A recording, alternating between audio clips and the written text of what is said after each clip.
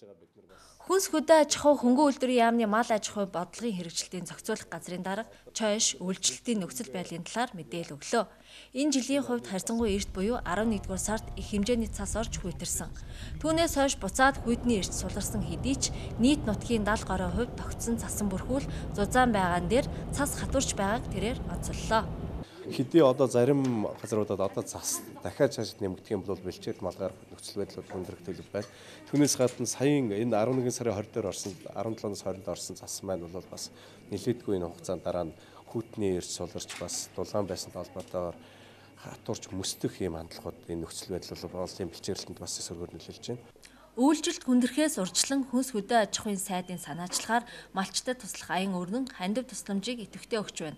Олон улсын байгууллагууд идэвхтэй оролцсон Морин спорт уяачдын холбоо, GCI, Японы элчин сайдын яам, Туркийн хамтын ажиллагааны газар, орон нутгийн зөвлөлүүд хувь хүмүүс бараа материалаар тусалж байгаа талаар энэ үеэр хэллээ.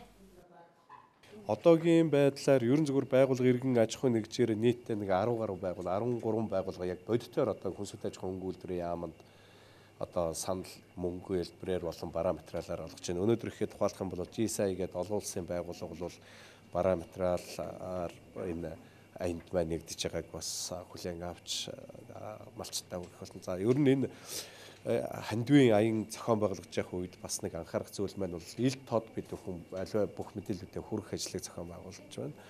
Өгж байгаа бараа бүтээгдэхүүн бараа материалыг одоо яг бүртгэж хүлээж аваад хэрэгтэй хүнд нь хүргээд хүргээд буцаага тайлан мэдээлэл бас олон нийтэд дэлгэрэнгүй мэдээлж тайлна гэсэн жах ажлыг зохион байгуулнаа. Цаашид энэ сарын 20-доор цас дахин орох төлөвтэй байгаа тул цагуурийн нөхцөл байдлын мэдээг үндэслэн малчид өвлийн бэлтгэлээ сайн базаах хэрэгтэй байна. Энэ сарын 19-ноос Баруун аймагуудын нутгийн зарим газар, Төв, Зүүн аймагуудын нутгийн хойд хэсгээр 20-нд Баруун болон Төвийн аймагуудын зарим газраар цас орж цасан шуурга шуурхыг ус цагуур орчны шинжилгээний газраас мэдээллээ.